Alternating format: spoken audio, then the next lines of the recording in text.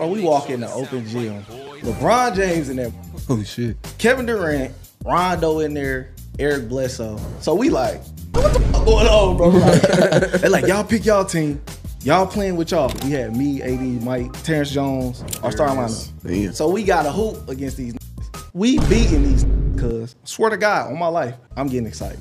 I get to talking cash, code, getting this motherfucker. So then everybody start talking. AD talking, shit, he go at KD, cuz. Yeah. KD tell me, he said, I got somebody for you tomorrow. You talking all that shit. I pull up the next day, Russell Westbrook in there. So I'm like, all right. Go at you. I like, let me lace up. I couldn't guard Russell Westbrook. He's posting me up. He's he's